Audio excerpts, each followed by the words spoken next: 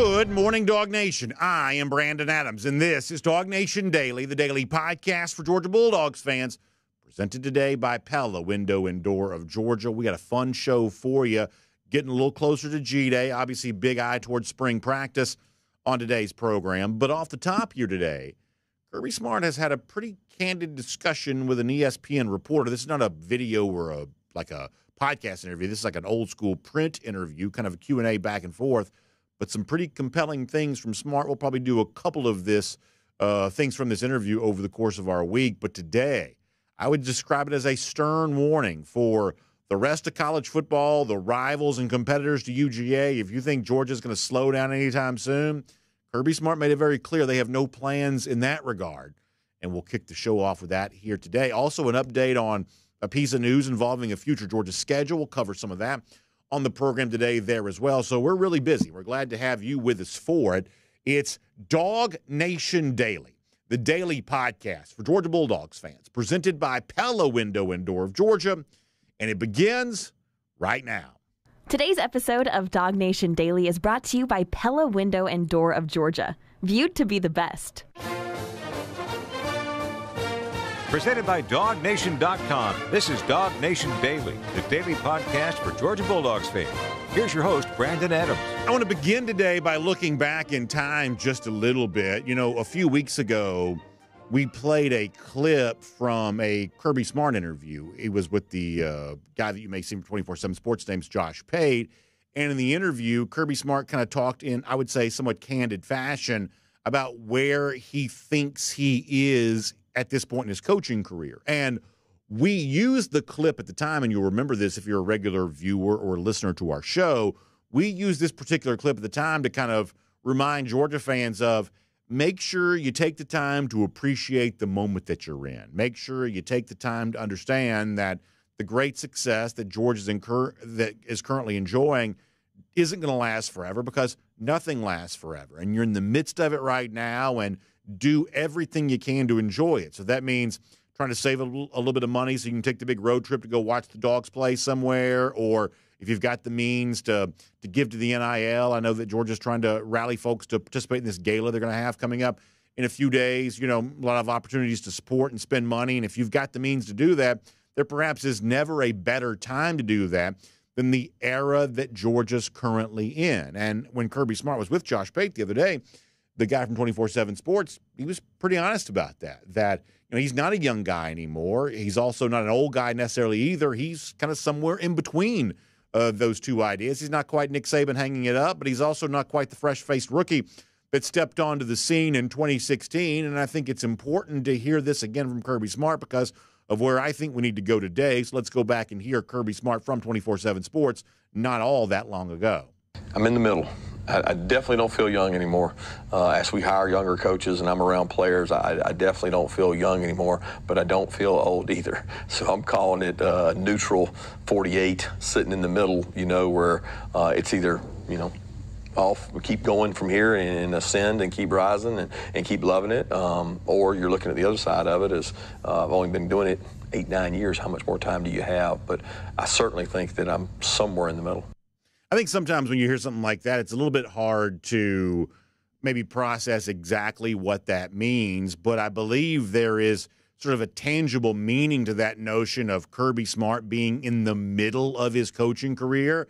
I think there's something to that that's probably a little bit more meaningful than perhaps you realize because it actually draws a little bit of a contrast, maybe more so than you think, between Smart and other coaches who've tasted the success, or at least a portion of the success that Smart tasted in 2021 and 2022 when Georgia won back to back national championships. In fact, consider this.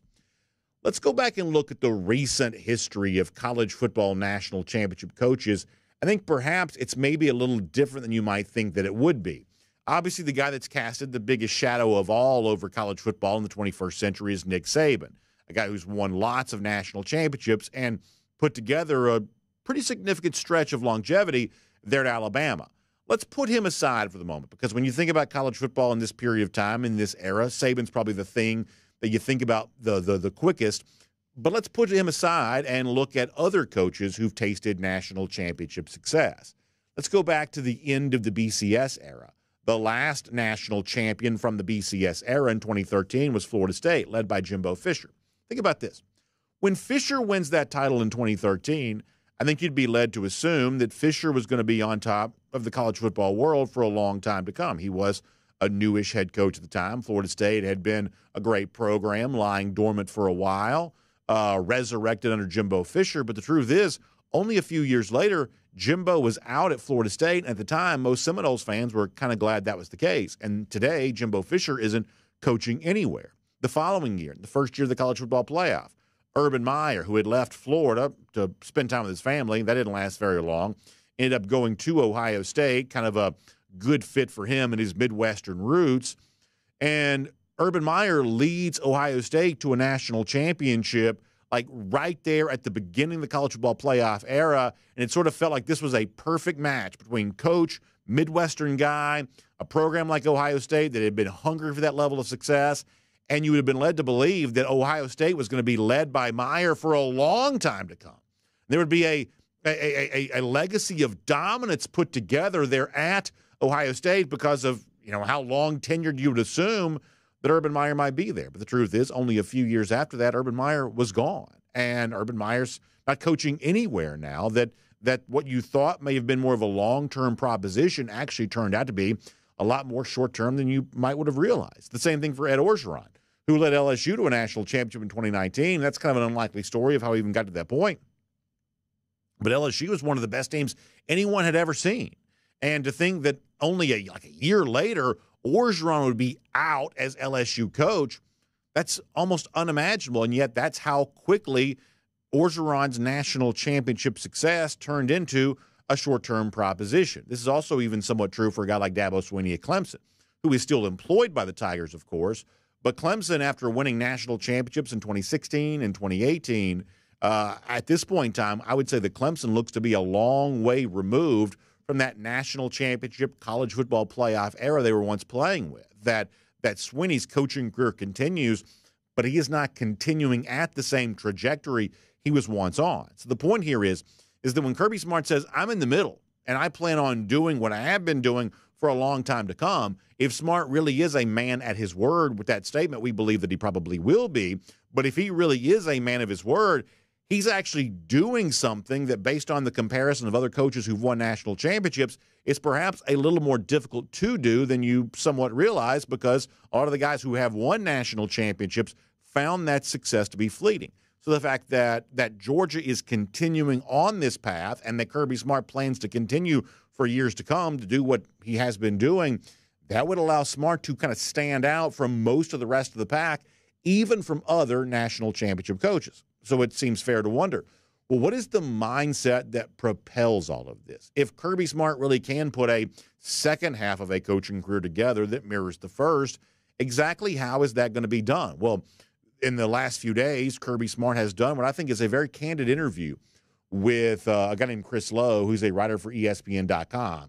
Low is the guy that was seemingly always profiling Nick Saban. When Nick Saban had something he wanted to get out, uh, Chris Low was the reporter he used to get that message out. So perhaps it's somewhat symbolic that now Chris Low's interviewing Kirby Smart. Maybe that means that Smart should be viewed as the new face of college football. But either way, one way or another, uh, Kirby Smart, who doesn't do a lot of these things, sometimes even nationally, did sit down for a Q&A with uh, Chris Low, and the subject came up of kind of where Smart sort of views himself now, coming off a couple of national championships and almost winning one this past year. And if you want to know how Kirby Smart plans on making the next phase of his coaching career as successful as the previous phase has been, what he told ESPN – I would say gives you a, a, good way to do that. And by the way, we're going to probably spend some time talking about this a lot over the course of the next few days. It's a full Q&A on a number of topics, but in particular here, the one quote, let me read this to you.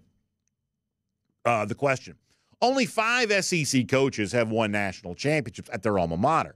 And the 2021 title was the first for Georgia in 41 years. Chris Low goes on to ask, as a player, assistant coach, and now a head coach at Georgia, how much does that mean to you? And this is where I think that Kirby gives a very interesting answer. He says, I was brought here to win championships. But the thing I'm proudest of has been the consistency. I look back on year one, Georgia was 8 and 5 in 2016. Kirby says that was a failure and not the standard. But every year after that, we've been right there. Nobody else over that span can say they finished in the top seven at the very end for seven straight years. You can't find it, not even at Alabama. We missed the damn playoff three times by being number five or number, number six. So those are missed at bats we would have had in this 12 team playoff. He says, We've been relevant every year, but that first one. But I want this is the, the, the line that I think doesn't really stand out to a lot of people. Kirby says, I want more than rele- uh, relevance. I want dominance. We've been more dominant in the last three years. What I don't want are the ebbs and flows or the one hit wonders that you see out there, like some of the ones I may have just mentioned. I don't want any player to leave Georgia without a championship. And boy, I think if you're a Georgia fan, I think those words really ring inside your head. Maybe more importantly, those words really ring inside the head of Georgia's rivals, its competitors to the throne, the programs that want the success that Georgia has enjoyed. Kirby Smart says, I have no plans on going anywhere. Compare that to the most recent national champion, by the way. Michigan finally got over the hump with Jim Harbaugh at the helm, but now you look around and Jim Harbaugh is nowhere to be found. Most of the assistant coaches that Harbaugh had uh, under his you know control, they've also moved on there as well. Is Michigan still the same program it once was when Jim Harbaugh was leading it to a title? We'll find out, but there's some evidence to suggest that it might not be. But Georgia has no such plans to exit the stage. Kirby Smart says we've won championships, but that's the expectation. We want to continue on in that run of dominance. So much so that every player that comes through here on over the course of his career at UGA would have a chance to win a championship. How do they plan on doing that? By simply trusting the odds. That if we can stay relevant year after year after year, put ourselves in the conversation and taking advantage of the expanded playoff field so that Georgia can't be unfairly excluded like the way they perhaps were this particular year in 2023.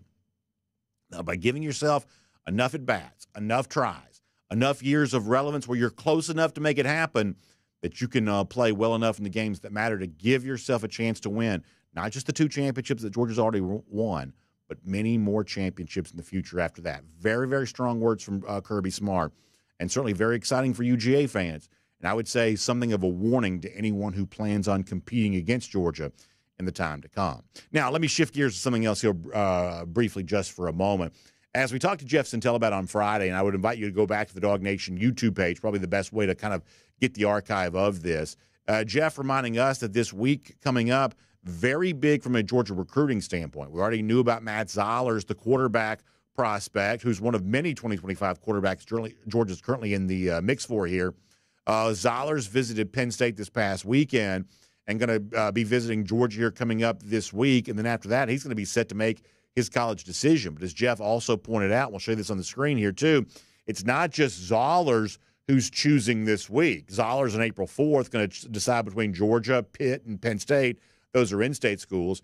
I'd also say in the case of Matt Zollers, this is y'all know I'm not a recruiting reporter. I'm just someone who tries to observe this stuff as uh, as an interested party here. I would watch out for Missouri a little bit on Zollers there as well. I do think that Eli Drinkwitz's doing a good job in recruiting.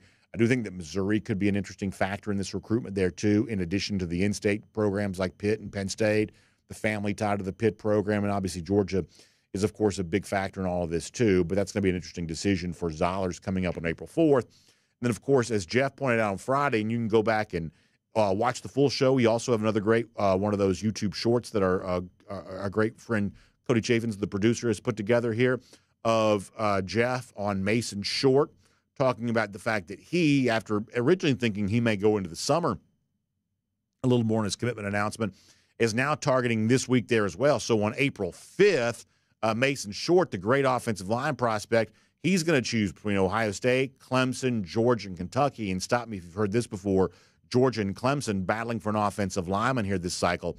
It seems like there has been a lot of that over the course of the last few weeks. So keep in mind as we begin the week here on a Monday, a lot of Georgia recruiting stuff set to take shape here this week. Of course, heading towards G Day and some interesting visitors, no doubt, coming in. And then the summer, which is going to be even busier than that. But keeping your eye on Matt Zollers, keeping your eye on Mason Short, two prospects set to announce their commitment announcement, setting up a very busy week this week for UGA recruiting. My name's Brandon Adams, and this is DawgNation Daily, the daily podcast for Georgia Bulldogs fans, presented today by Pella, window and door of Georgia. Glad to have you with us across all platforms video, radio 960 The Ref, podcast, Apple, Spotify, posting the show at the world famous dawgnation.com.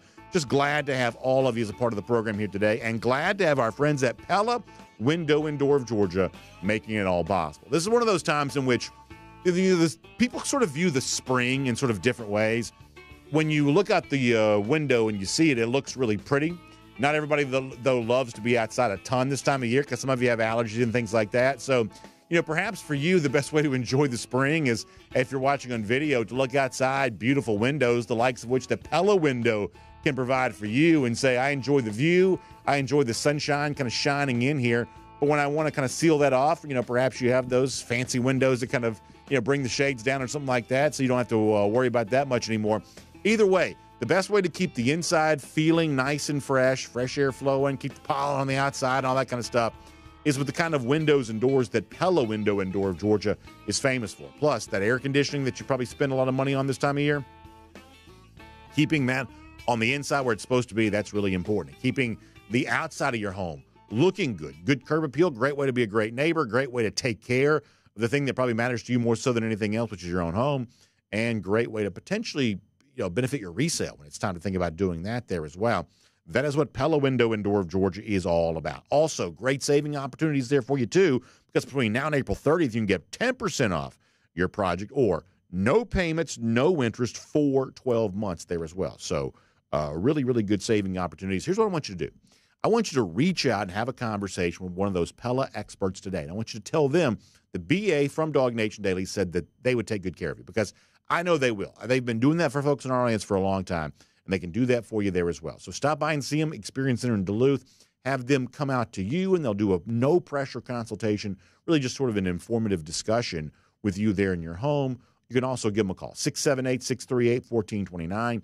That's 678 638 1429 or pellaofga.com slash dognation. One more time on that email, or uh, that web address, pellaofga.com slash Dog Nation. As I said before, just make sure you tell them that BA from DawgNation Daily said they'd take good care of you because I know they will. Because Pella Window and Door of Georgia is viewed to be the best. All right, we are going to do something a little bit different today. So I mentioned this to our video audience a little earlier. Um, I kind of messed it up with John Stinchcomb here this week. John is enjoying some spring break, which he should be doing with his family. He actually reached out to me a few days ago about pre-recording something. You ever have one of those things happen where you look at your phone, you go to text somebody, and you realize they text you like five days ago and you didn't see it? Well, that kind of happened with John. So we weren't able to do that with John here this week, but we'll catch up with John again when he's back in town next week. Of course, a lot of folks enjoying spring break, and we're glad that you are. And if you're allowing us to still be a part of your spring break experience, we certainly appreciate that too. And we'll talk to John Stinchcomb next week. It's Connor Riley, normally a Tuesday guest, coming up today pinch hitting for John, but it's actually a great day to have Connor on the show because we're coming off a pretty busy spring practice weekend for Georgia, kind of a closed door scrimmage, but rumors and reports going to come out of that. So we'll talk to Connor about some of that here coming up in just a little bit. Prior to that, though, I want to go around the doghouse, poured today by our friends at Dr. Pepper. And as we were doing the show on Friday, there was some news coming out that was not unexpected. We'd even, I mean, I'd brought this up a few weeks ago as what I thought was a pretty strong possibility. That Georgia, on the heels of getting a 2025 schedule announcement and figuring out kind of who it's playing, that the big non conference road trip that Georgia was perhaps going to take to uh, Pasadena to play UCLA that year, supposed to play him in back to back years, 2025 and 2026. The chances seem to be growing that trip might not happen. Josh Brooks, Georgia athletic director, was on 92.9 The Game. Steak Shapiro, our buddy Rusty Mansell, uh, Drew Butler was on that day there as well. They were in Athens. And uh, Rusty asked Josh about the rumblings that perhaps Georgia and UCLA will not play in Pasadena in 2025. And Josh Brooks gave you the sort of uh, non committal answer that probably will be taken as a commitment in the negative here. Uh, let me let you hear Josh Brooks on 92.9 The Game here this week. Um, we'll see. You know, obviously with the evolution of uh, the Big Ten schedule and our schedule, okay. um, we've got to make decisions that are best for us, and they've got to make decisions that are best for them. So everything's in play. So we'll see. There's some, uh, you know, it's a fluid situation. So fluid situation, but if we're like, you know, less than a, you know two years away from the actual game being played, if Brooks is saying we'll see about it being played, I think you can fairly reasonably assume that it probably won't be played. And you know, the day that the 2025 schedule came out, we went on video that afternoon, and I was bringing this topic up that day, saying you know, I wonder if there's an appetite to go out to Pasadena here right now because ultimately that's what this really kind of comes down to is road games like this are expensive. And for the next couple of years, just to be completely frank, I don't know how competitive UCLA is going to be. Chip Kelly obviously just left that program to go be offensive coordinator at Ohio State to give you an idea about the gap that exists between the top program in the Big Ten, maybe right now Ohio State, and a team just newly joining the Big Ten like UCLA – you know, this is just not the same level of program. And Deshaun Foster, with all due respect, I don't quite know right now what kind of coach he's going to be. There is a very good chance that UCLA, which has major budget concerns and things like that, there's a very good chance they're just non competitive for the next couple of years. And so, is it really worth it right now to fly all the way across the country to play a football game that may be the same kind of blowout that Georgia could play just by hosting some sort of you know, sister of the poor type team here at Sanford Stadium. You know, perhaps that's the case. And I do think that if you're Josh Brooks, fan concern here is your ultimate job. That's what you do, right? I mean, it's like Kirby Smart's job is about how do you win football games. Josh Brooks, I would say, is a little bit more along the lines of how do I serve my constituency, the people who kind of, you know, giving us the money that allows us to operate as an athletic department. And I don't hear a lot of hue and cry from Georgia fans of, oh gosh, we've got to go relive the experience in Pasadena we got to go. We got to go back to Pasadena again. The fact is, Georgia was just in LA for the national championship two seasons ago. I'm not actually sure how right now how many Georgia fans are dying to go back to Pasadena again, given the fact it would be a very expensive trip for, um, you know, for what might not be the world's best football game. But in this same interview with 929 the other day, Brooks did talk about uh, the 2025 home schedule and the fight that he went through, uh, according to his own telling of it, to make sure that Georgia fans did get the kind of home games they've been wanting. And I like this from Josh Brooks. I wanted you to hear this there as well from the 92.9 interview just the other day. Yeah, it's what I wanted, not what yeah. I fought for because I, I, stood up in the room and I said, guys, if y'all are going to make me go to Austin and right. Tuscaloosa or, or Oxford, those jokers are coming here. I said, I owe it to my fans. You know, you're not going to make us go to those three places. And, and there may have been an AD or two that stood up in the room and said, we don't want that. I was like, tough good for Josh Brooks there on that. Fight hard for that. I do think this works out well for Georgia. Now, I would still say that the SEC's inability to kind of find unanimous agreement on what the schedule should be long term is probably a little bit of an issue.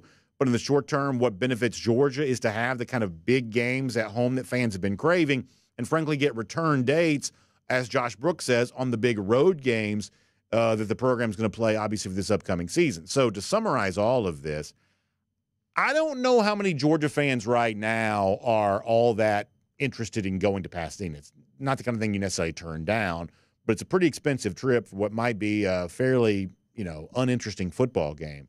But fans, I do believe, are incredibly excited about the chance to see Texas come in here and Alabama come in here and maybe even Ole Miss coming in here uh, again there as well. And so I would say in this particular case, if this is where we're moving towards, you know, the UCLA game not being played – and obviously the excitement building for those big 2025 home games. This is probably moving in a direction that most fans kind of want anyway.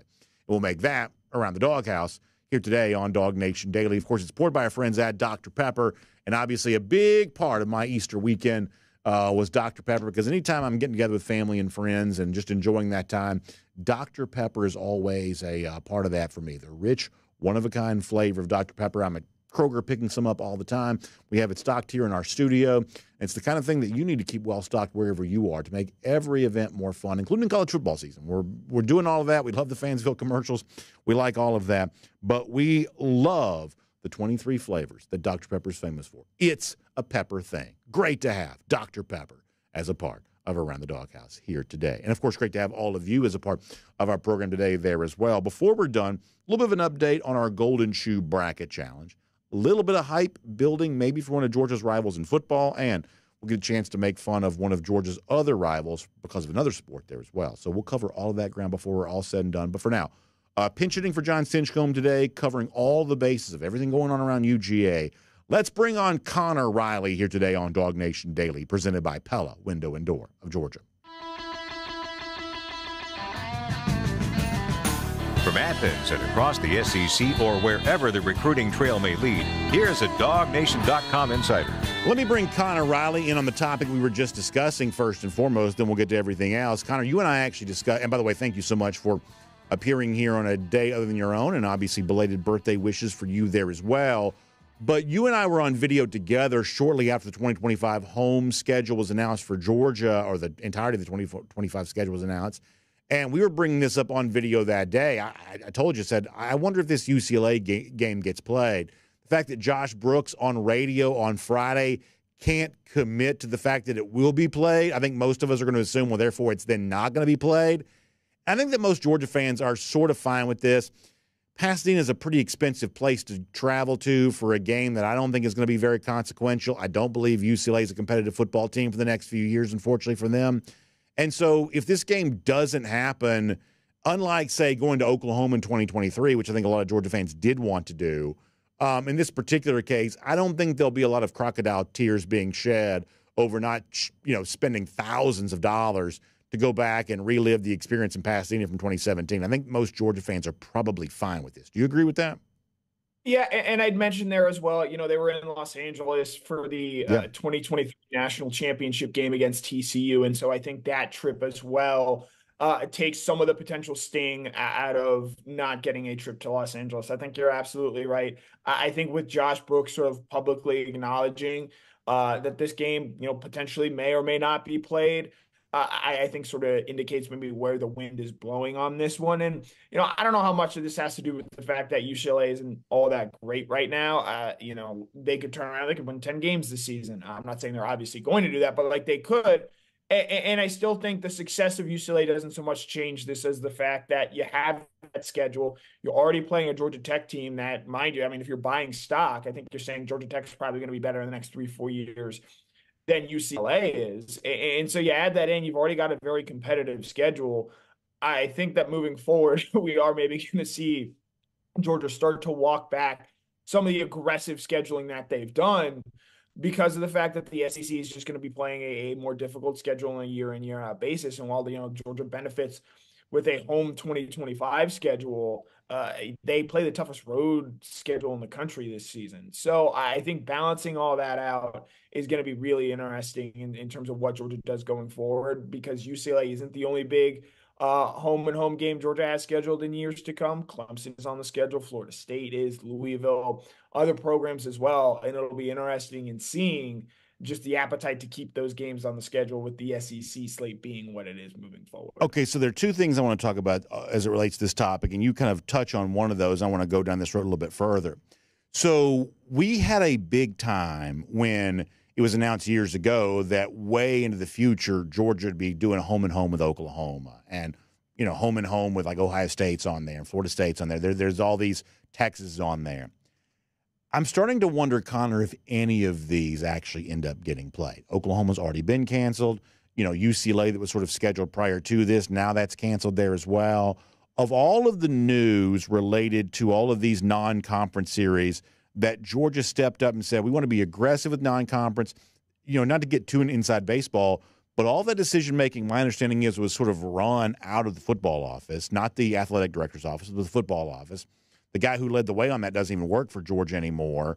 Uh, I, I sort of wonder if any of these non-conference series that Georgia announced years ago, I sort of wonder if any of these series end up getting played. What do you think about that? And, that's a very fair point because look, uh, two of those teams that Georgia has future home and home scheduled against, uh, Clemson, Florida State, are suing to get out of the ACC at this point in time. And so you wonder, you know, much like the Texas series, much like the Oklahoma series, do those games just become future SEC games and no longer non-conference home and homes? And obviously, we have a long way to go to that. Who knows what that is going to to hold and ultimately look like there? But I think again, you know, those schedules were designed with a different, you know, college football pla- college football playoff path in in mind. You know, we did not know that there was going to be a 12 team playoff when those games were scheduled.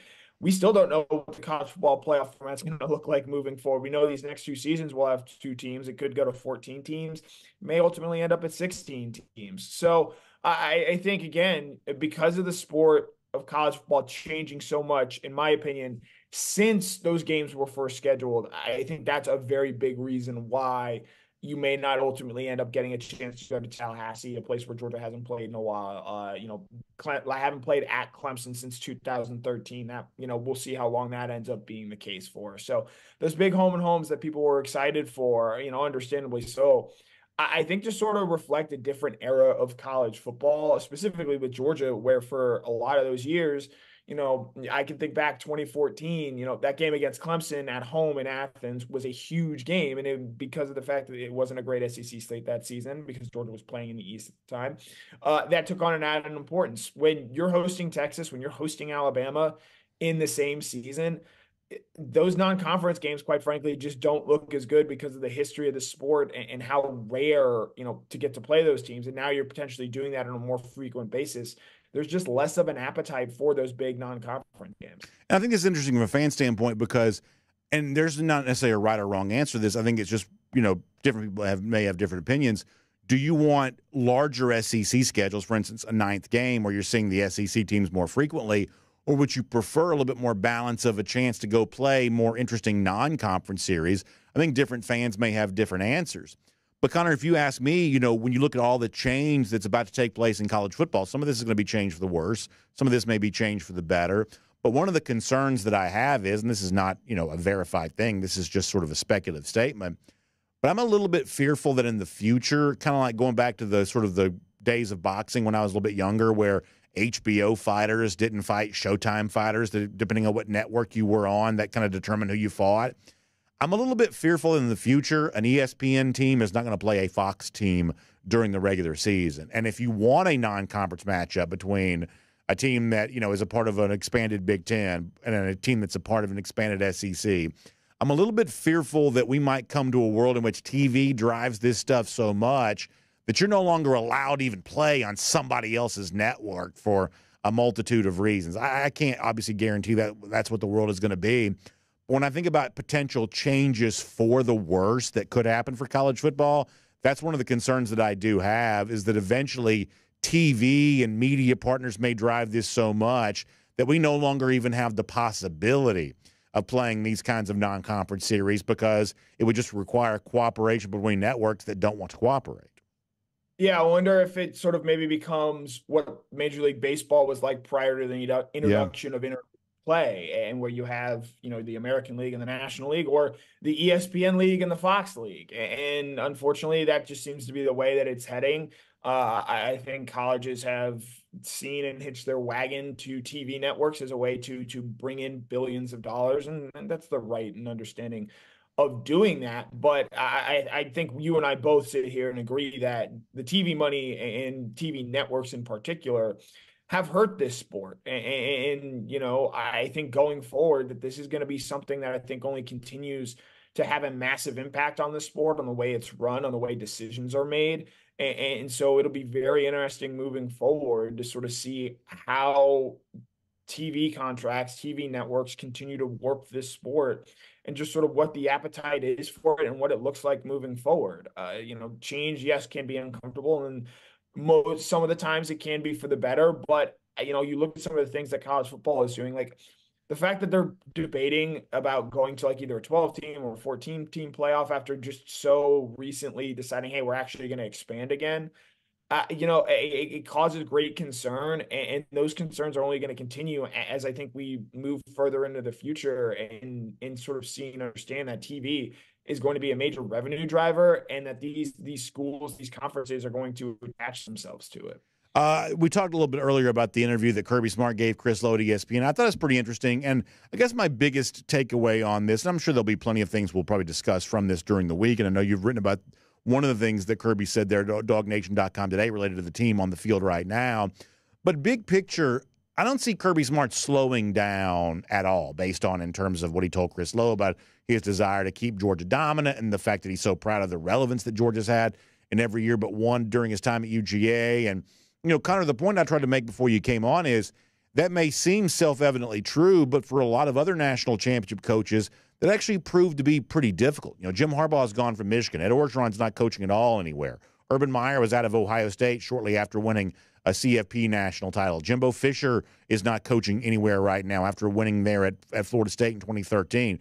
Uh, you know, right now, Dabo Swinney is not at a national championship level, although he is still coaching.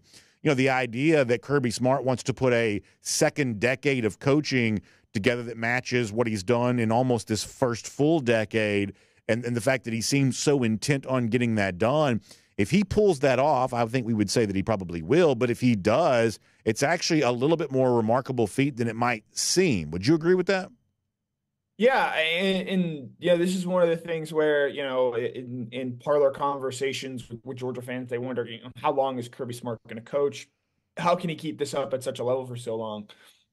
I think knowing Kirby Smart and covering him in the way that I have, he's only wired one way and it's not like you know he's not going to oh, i want to go work in tv like I'm, I'm satisfied with what i have done. You don't build the georgia program the way and the manner in which he has built it during the time in which that he has built it um to to not make it this sustainable long-term thing and and he's wired and he loves coaching. He said that before.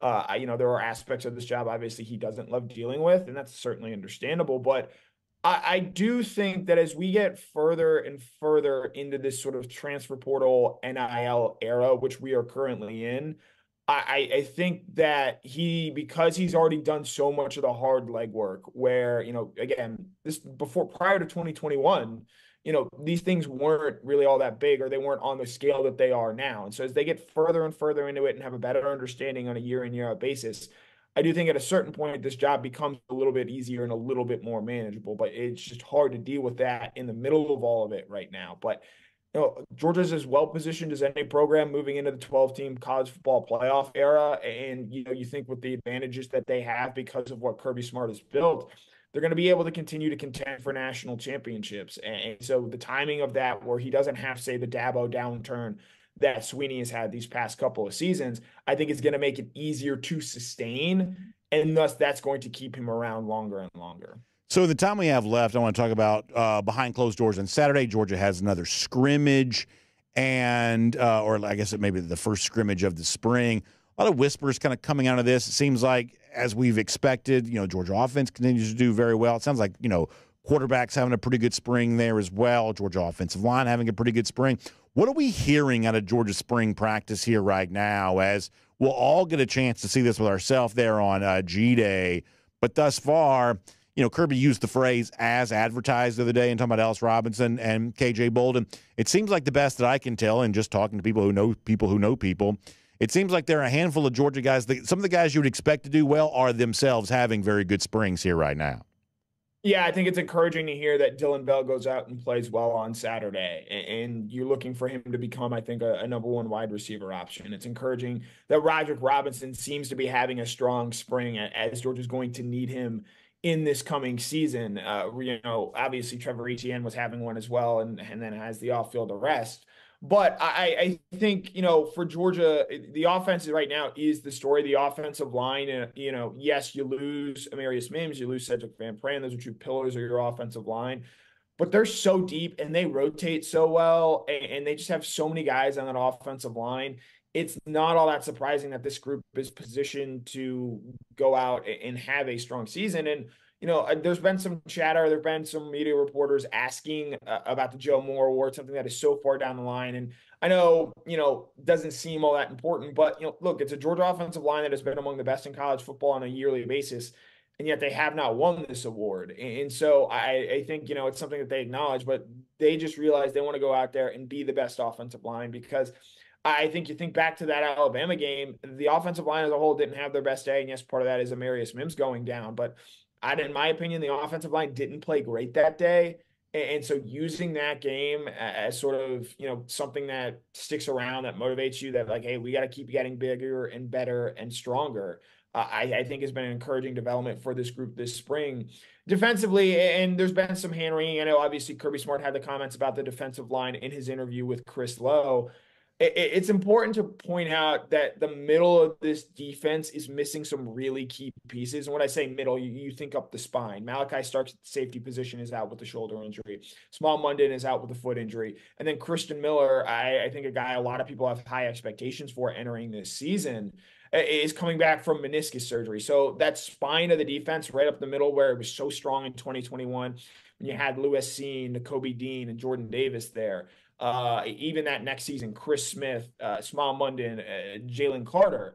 Uh, that spine of the defense is really, really important. And with so many key pieces out right now, it is going to be a more of a wait and see approach with this Georgia defense in terms of what it ultimately looks like in the 2024 season. All right, let me do one final follow up on that particular point when it relates to the defensive line. When we talked about this one of the days last week, I can't remember, that the seven round ESPN mock draft that recently came out had nine Georgia players selected, which is one fewer than they had the previous draft and a handful fewer than they had in the 2022 draft. What I did was you kind of going to go and look position by position of – well, if Georgia is going to have fewer players drafted, where is that like gap coming in?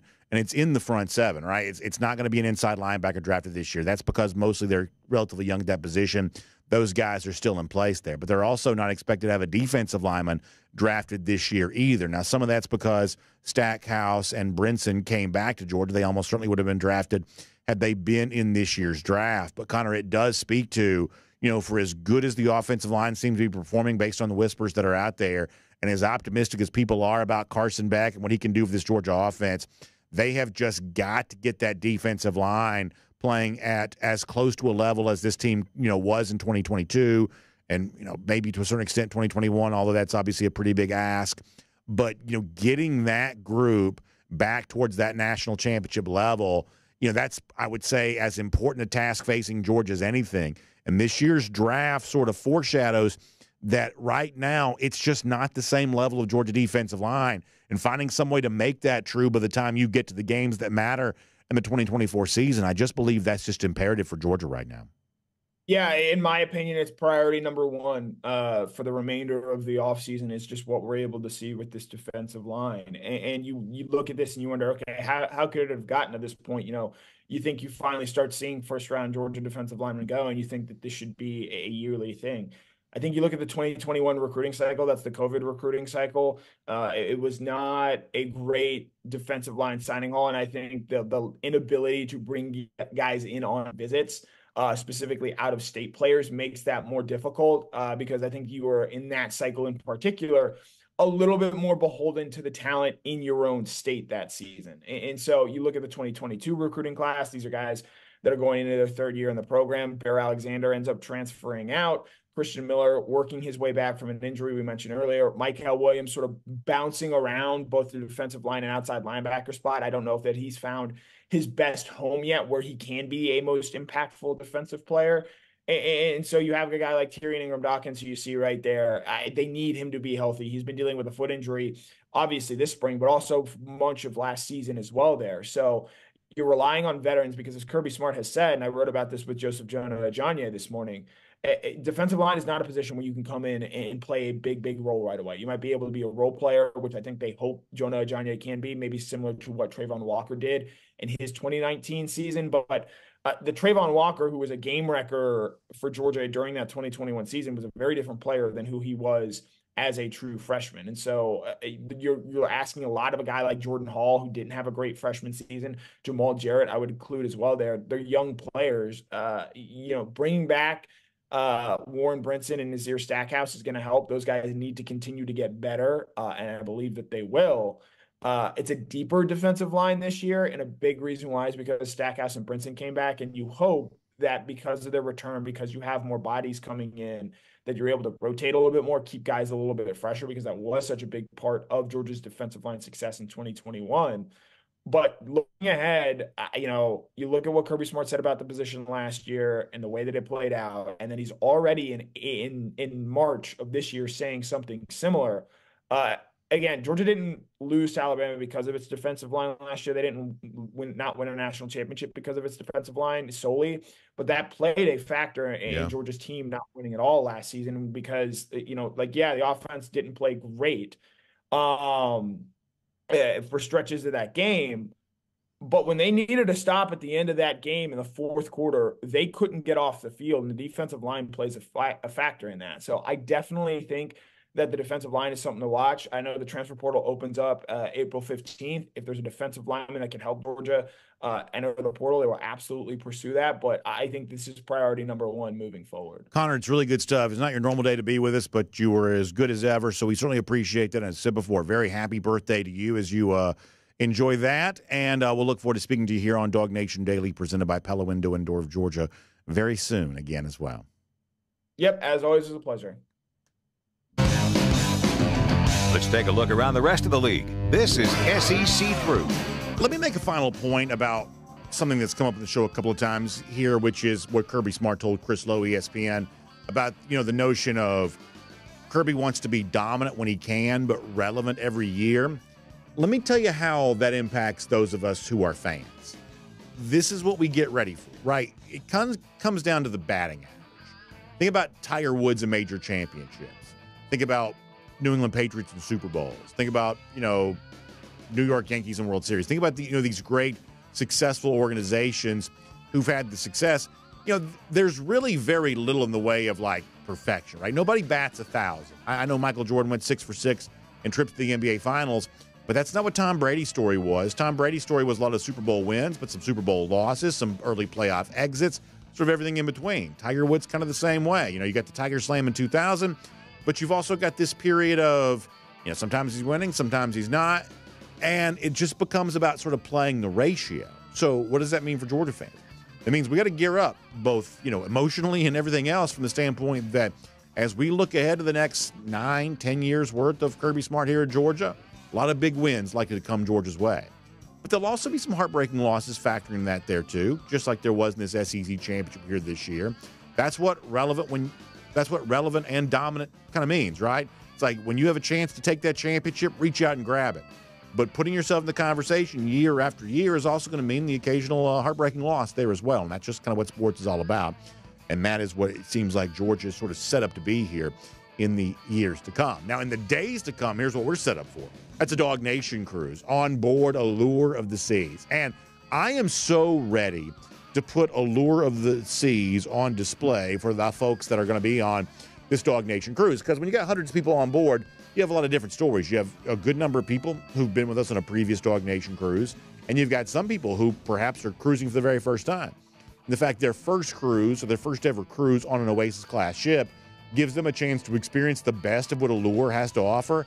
I'm just so excited about this. And I was so happy that for our DawgNation cruise here this year, we were able to really kind of uh, upgrade in some respects and uh, and provide a ship bigger and in many cases better we've been able to be on before. And I just think it's really fun that that Royal Caribbean is doing this because for a long time the Oasis class ships, the largest cruise ships at sea, which they were for a good long time, were kind of exclusively reserved like a seven night sailing. And what Royal Caribbean has said, especially out of Port Canaveral, we sail out of, so many families like the Port Canaveral destination so many families like the three and four night itinerary.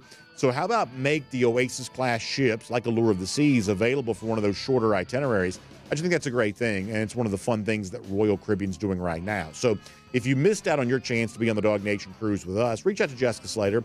She's a travel agent specially selected for us by Royal Caribbean, and she can help you with your own cruise vacation needs. You can give her a call 770 718 9147. That's 770 718 9147. You can email her, jslater at dreamvacations.com. And you can tell her, BA's been talking about Allure of the Seas. I could not be on the DawgNation cruise, but I want my own Royal Caribbean cruise vacation experience, and Jessica can help you out with all of that. All right, let's talk some basketball here for a moment. Now, before we're done, we'll give you an update on our Golden Shoe bracket contest, although the uh, top dog in that remains unchanged, but we will give you a little bit more some people were saying they wanted to see a little bit more of like the top 10 or whatever. So I've made some room on the graphic to hopefully be able to do that. We'll do that here in a little bit. But as far as the SEC teams, good news for one, not quite so good news for the other. We said on Friday, we're not proud of this. And, you know, ultimately, I'd like to be a good man. I'd, li- I'd like to be thought of as a good man in life. That's important for me. But there are also moments which I just sort of have to be honest about what I actually am, which is at times a little bit petty, at times willing to be a hater. And we said we're going to be hating. Uh, we didn't want Alabama or Tennessee to make the Final Four, Did not get our wish when it comes to Crimson Tide. They do advance. Tennessee, though, going home. So Tennessee's streak of not winning the big one, winning nothing of consequence, it continues after a loss to Purdue on Sunday. Now, I will at least give Tennessee a little bit of credit for this. I won't say credit, but I'll, I will join them in this. One of the things that I would kind of knock basketball on, I'm someone who's grown up a big basketball fan. One of the things I would knock basketball on a little bit is that it is the sport I, I would say most impacted by officiating. And I definitely feel like the way that Zach Edey was being officiated on Sunday, you know, a lot of ticky tack foul calls, you know, lot, you know, big imbalance in the in the total number of calls there. I do think that favored Purdue. I just, you know, I don't think it was cheating or like, you know, I don't think the officials were out to get Tennessee or anything like that. I just think that it was a game called pretty tightly as it related to the best player on the floor, or at least the best player for Purdue in Edey. And I do think that had an impact. And I do know for Tennessee fans, this is pretty frustrating because, you know, you bring in the transfer connect, you know, you have the success all year long that you had. You know, this is supposed to be your year to break through and do something you haven't done before. What they have to settle for is, well, it's still probably the best Tennessee basketball season of all time. And it is, right? Tennessee's, some of y'all know better than I do, probably. Tennessee's never really had a men's basketball season as successful as this, but it's not the Final Four they wanted. And it kind of continues, as we said before, the streak of early eliminations in baseball, you know, football number one in November, nowhere to be found in December. You know, a lot of Tennessee seasons in a lot of different sports. You sort of come up short, and uh, the basketball team now added to that category. On the Alabama side, just the one thing I'll say about them real quick is what's amazing here is A, I think that Nate Oats now joins the category of top flight coaches in the sport. We would say that. But also, it's a situation where they had such a transformation of their roster after losing all the players from a year ago in the transfer portal this past year. And some of that's probably in NIL, but some of that just seems like good scouting. Some of that just seems like really identifying players who could come in and help. Uh, so, you know, as much as it pains me to admit, pretty impressive showing from Alabama basketball there on that. I, I saw an interesting story at on3.com as it relates to Auburn and – one of their guys, Andy Staples, kind of touting the idea that Auburn could be an improved offense here in 2024. And I do think it sets up, whether you agree with Staples' point on this or not, I, I do think it sets up for Auburn to probably be one of the most interesting teams in the SEC for the upcoming season because you know, we talk a lot about you know who's got what schedule and the changeover of divisions. And in some cases, teams are playing far more difficult schedules than they played before. But there are some teams, and you know, Auburn historically has kind of played one of the toughest schedules in the country. You can make a case that for this upcoming season, that's scheduled not nearly as tough as we've seen Auburn play in the past. For instance, you got non-conference games: Alabama A&M, Cal, uh, New Mexico. You know, the SEC games include Oklahoma. That's probably a little bit of a break. Not getting Texas. Uh, they are at Missouri. That's a game in which they'll probably be a fairly sizable underdog. They're at Kentucky. That's certainly not a guarantee. They do get Vanderbilt though. You know, Texas A&M is probably a little bit of a toss-up, and then to end the season at Alabama, uh, which you know who knows what Alabama is by that point in time. It's probably a little bit more of a manageable schedule than Auburn's had in the past. So there's obviously an opportunity for improvement. The thing that Staples points out at on3.com is the presence of a five star receiver like Cam Coleman, which obviously is a big win for the Auburn coaching staff to keep him in the class.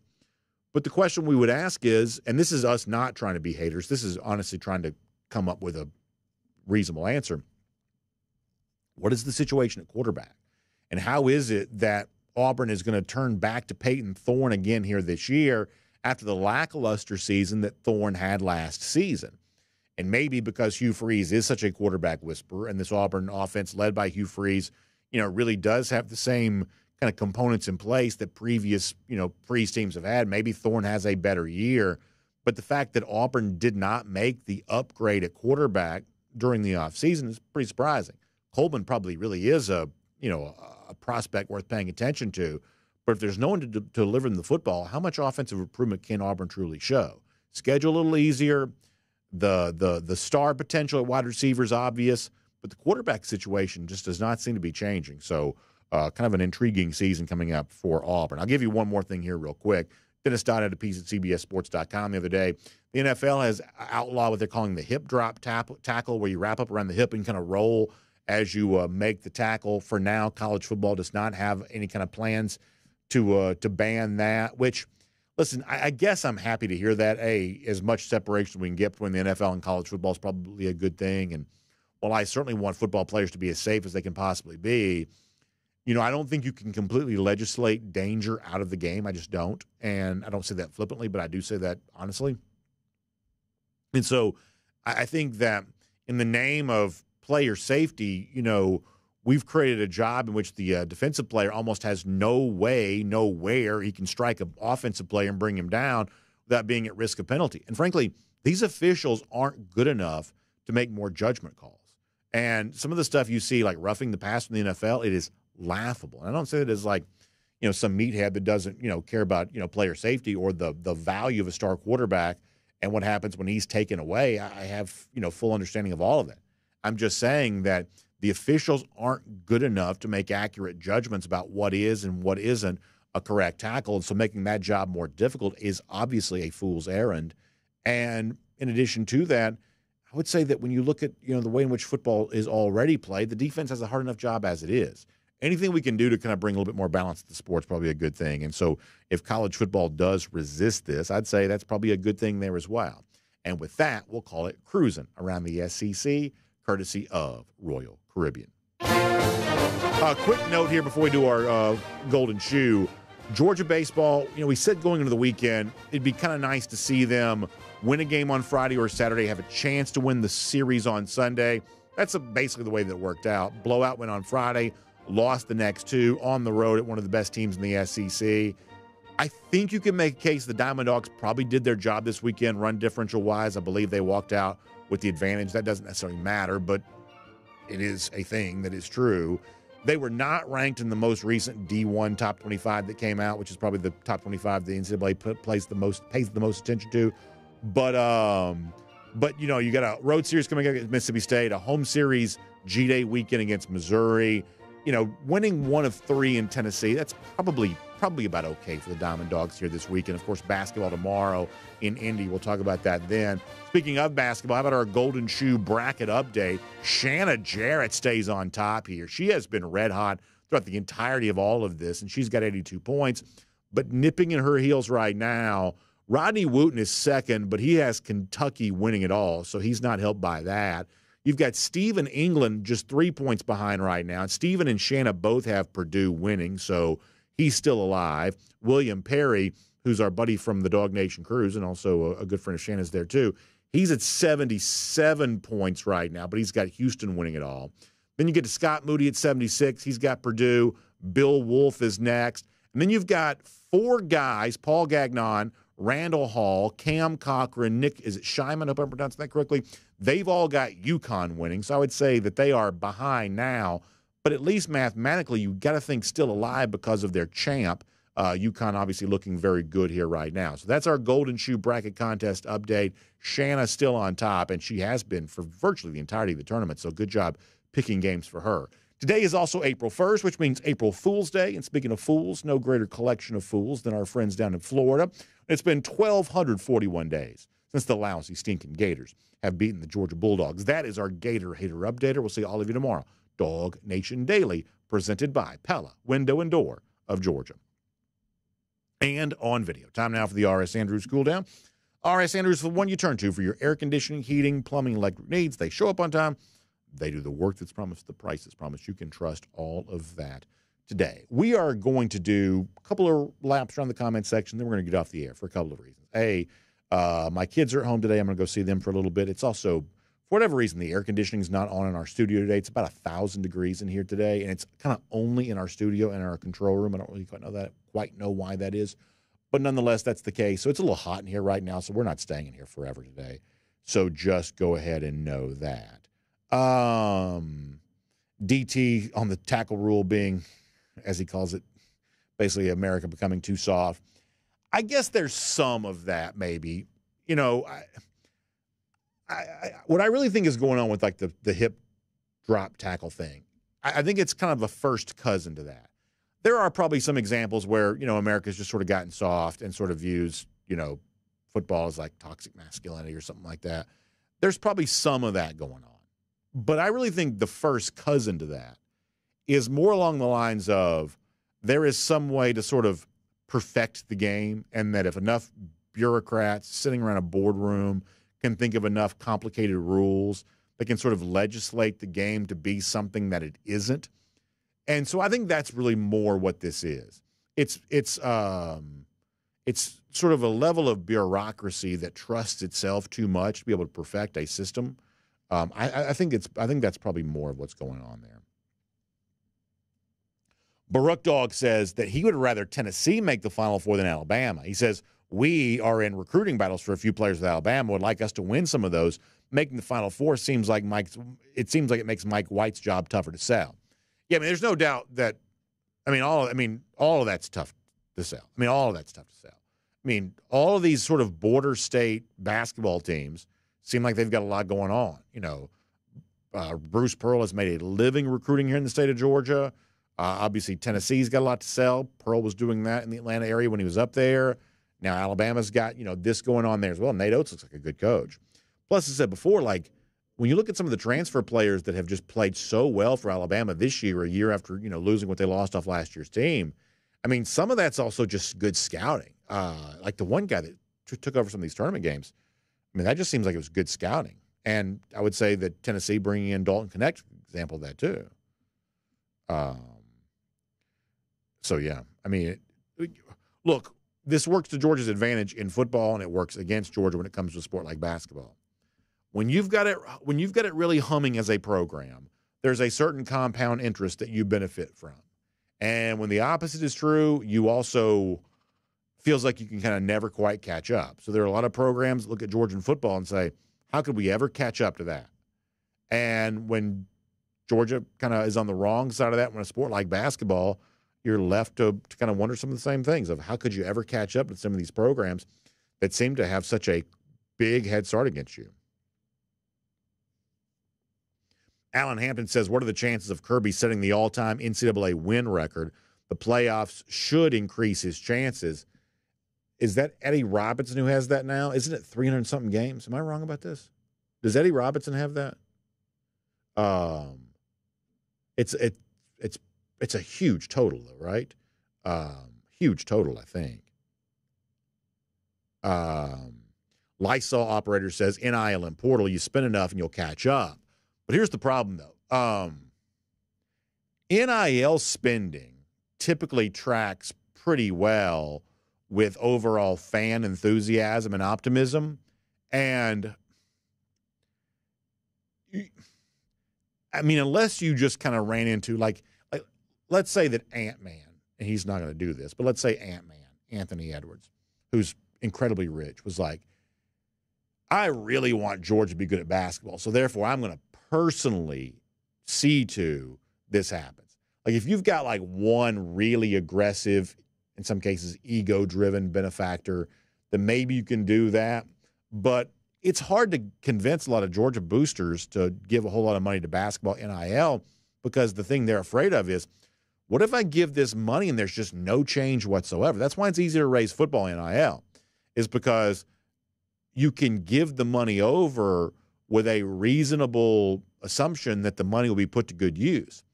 I mean, you can give hundred thousand dollars to Georgia basketball, and I, I'm not picking on Georgia basketball. I'm just talking about the reality of the situation. A, that may not be enough money to, sway a top player anyway, and B, who's to say that it even bears fruit? Right? I mean, uh, it's just tricky.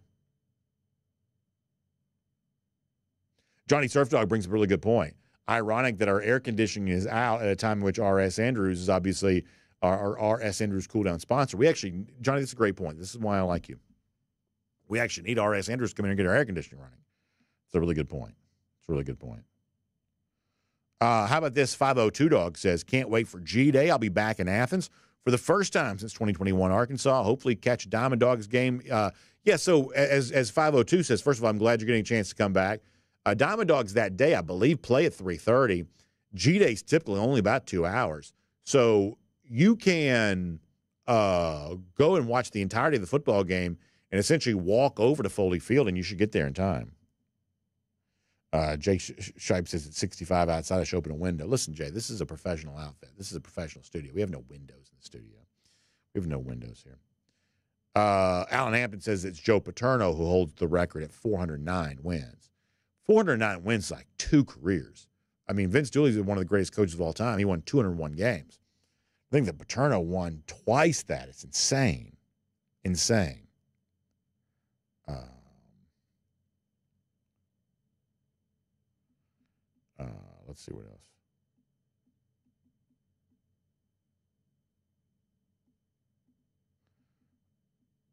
DMAR 42 on the subject of participation trophies. Now, I will say this. I'm not going to bore you with my theory on this, but I feel like that one of the most unfairly maligned things in all of American life are participation trophies. I'm actually very pro participation trophy. And um, I know that goes against like conventional wisdom a little bit. But if you really look at like, I mean, I'm not going to get into my thing on but if you really look at what like is causing trouble for a lot of young people right now, it's sort of an absence of participation. You know, um, that I, I do think participation is something that ought to be celebrated. So I am not anti-participation trophy, which may surprise you a little bit because it just sort of feels like you know participation trophies are a fairly easy thing to rail on. But I'm actually very pro participation trophy because I am pro celebrating participation.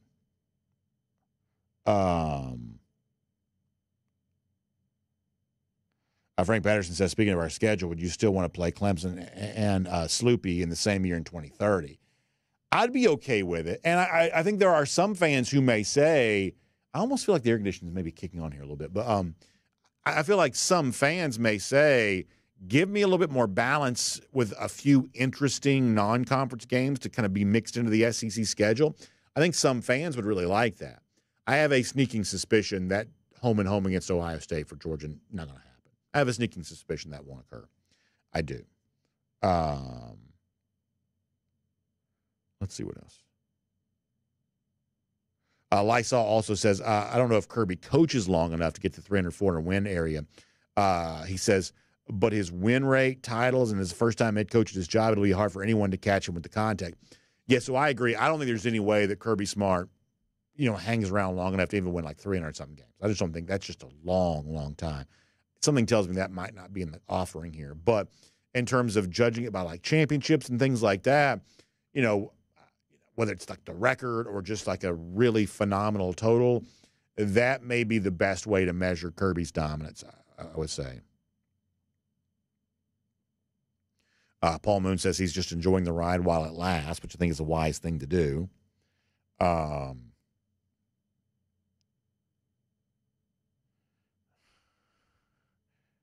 uh, let's see what else.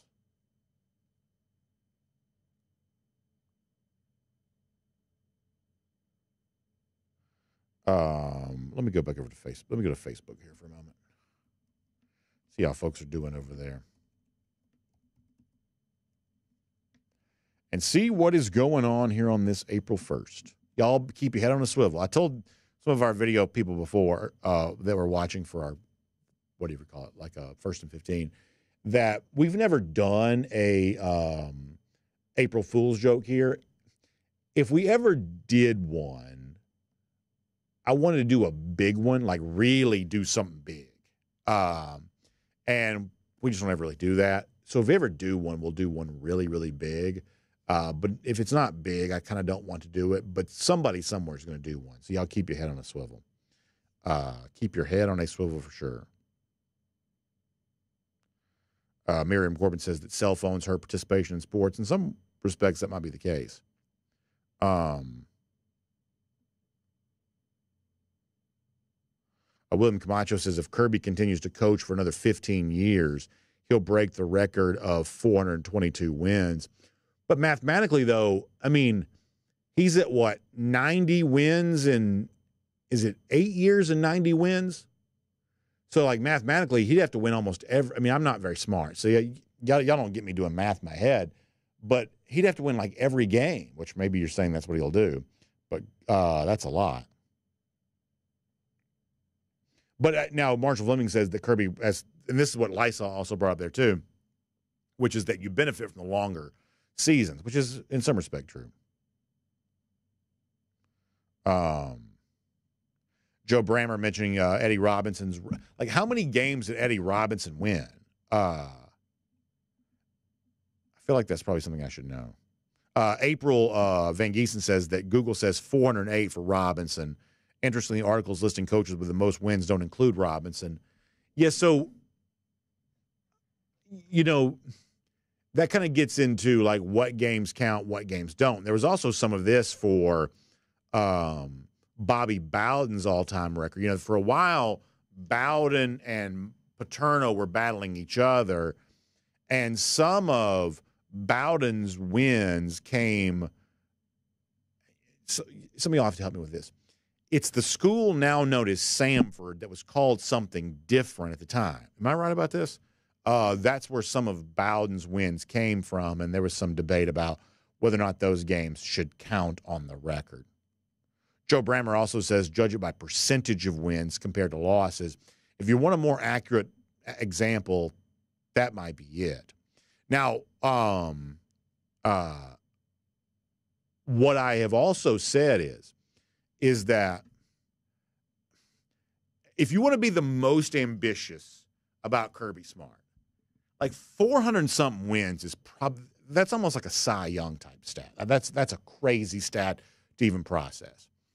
To me, when we, we've done shows like this in the past, the most ambitious thing you could say about Kirby Smart is is that instead of being the Nick Saban of this generation, I mean, there's a chance he could be the John Wooden of college football.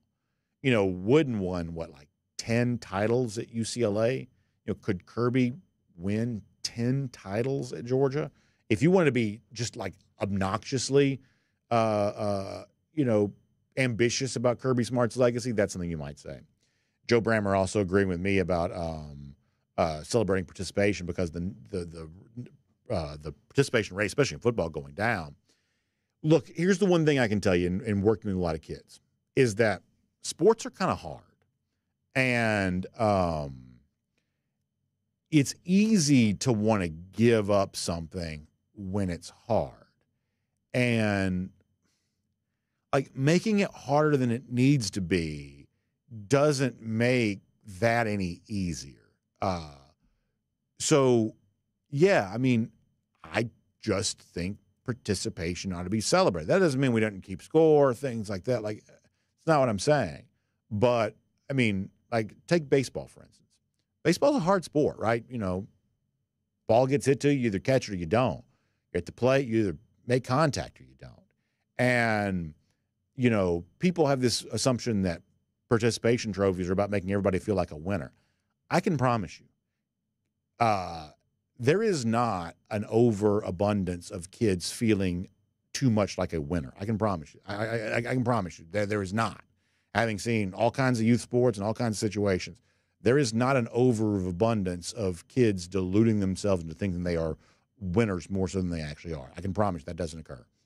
There are a lot of kids who sort of feel like, I don't, I don't really know if I'm good enough at this to keep doing it. And if you can prevent some of that from happening, you've probably done the right thing. Um, uh, Matt Rukavina says if we can have Kirby for 25 years, I would consider ourselves immensely lucky. I'd say so it's not an impossibility to me that he could stick around for 25 years, but I would say that's a pretty ambitious length of time. I, I, and that's also, ironically, the exact same number of years that Vince Dooley gave Georgia. I would say that's pretty ambitious, um, but but not impossible either. Back at dawgnation.com for a moment. Okay, see, some of y'all are great. SEM dog over here yeah, so I was right. Samford was once known as Howard College, and Bowden won 31 games there. And so those games being added to his total when he and Joe Paterno were jockeying to see who could be the winningest coach of all time, that was pretty controversial there for a little while. Um, uh, let's see what else. Yeah, PDT on the subject of uh, participation trophies given players and, and young athletes false hope. I can promise you there is not an overabundance of false hope. I can promise you there's not. I would say there is an overabundance of players who feel like it's not even worth trying. I would say I, I would say there's if there's too much of anything, it's not it's not problematically high self-esteem. That what's actually going on in with with young people is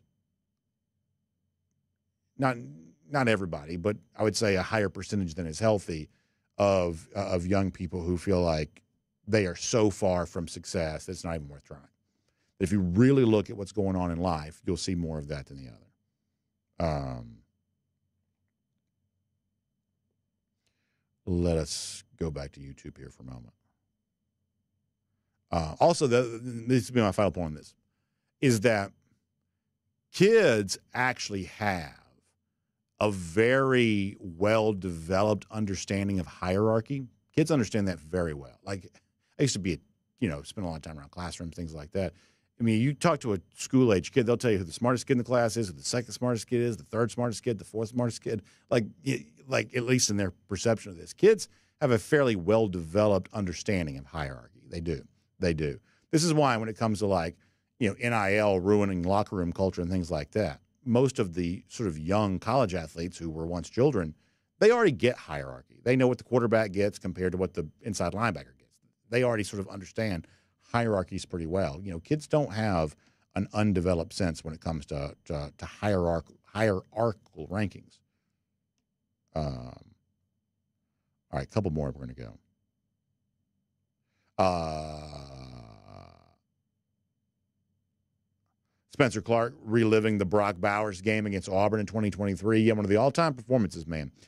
By the end of that game, when he's just catching ball after ball after ball, you rarely, especially the SEC level, you rarely see one player take over a game to the extent to which Bowers took that game over. He really, uh, really put the team on his back. He really did. Um, uh, Frank Patterson says any word on how Arian Smith has looked at practice. Some of the buzz coming off this most recent scrimmage, I guess, for Arian is pretty good. So we'll see if that holds up. But it seems like Arian's generated some uh, decent buzz here as of late. Um, and, you know, I, I would say I take it as a positive sign that when media has seen some of those practices, he was kind of seen working up front near the beginning of the drills, which usually sort of a respect of leadership and, and kind of position there, not always a guarantee of a starting spot, but – some of what media saw show him kind of getting the deference that a veteran player would get, and some of the buzz from this past weekend was pretty positive. Uh, Brandon Griffin, thank you for the kind words. He says, cup of coffee, five bucks. Breakfast burrito, ten bucks. Waking up to BA is prices. I appreciate that. Uh, thank you so much. Um,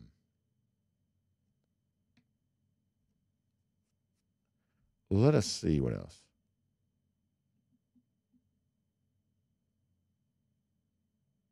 Uh, Frank Patterson on the subject, as he calls it, Athensburg, meaning Pittsburgh, that Amarius Mims could go there. Yeah, it seems like you hear some chatter as of that. And I do like the fact that it seems like right now Marius Mims is being sort of consensus, kind of a consensus first round pick. I, I enjoy that. Uh,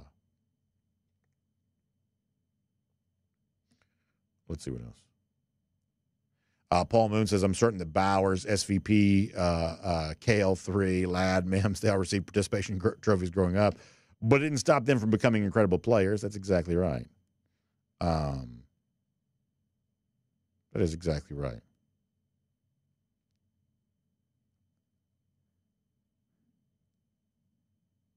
All right, let me go back around the other comment section. We're going to get ready to go. Oh, so how about this? Randy Hall is in the top 10. That's Randall Keith Hall. That's him. There you go. So uh, Randy giving you his uh, full name there. That's awesome.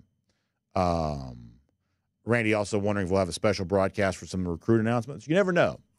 On stuff like this, it typically depends on how those announcements go. Uh, but but but you know, sometimes anyway. Would we do Mason Short live? Mm, I don't know. That's a good question. That's a good question. Uh, it's worth considering anyway. All right, let me go back over to Facebook one more time, and we're going to get ready to go after this. Uh, William Camacho checking out. William, we're glad you're here. Joe Brammer says that Bowers' 2023 Auburn game was one of the most incredible performances in UGA football history. For a single game, it really probably was. You know, it won't be remembered that way necessarily, but in, in terms of the overall performance, I think you're about right on that. I think you're about right on that. Um, all right, we're going to go for now, y'all. Uh, good stuff. Y'all have a great day. Check out RS Andrews online. If you do, as uh, uh, Johnny said a moment ago, Your air conditioning where you are can be working a lot better than ours is right now. I, I may get on the phone myself and call Dari and ask him if he can come over here and get this air conditioning working better for us. If, it, if it's not cooler and more comfortable tomorrow, that's exactly what we will do. So, y'all check it out, RS Andrews online, rsandrews.com for your air conditioning, heating, plumbing, electric needs. They show up on time. They do the work that's promised, the price promised. You can trust them on all of that. Y'all have a great day. We'll see you back here tomorrow. RS Andrews cool down when it's done. Pella window and door of Georgia before that. We'll talk to you then, everybody.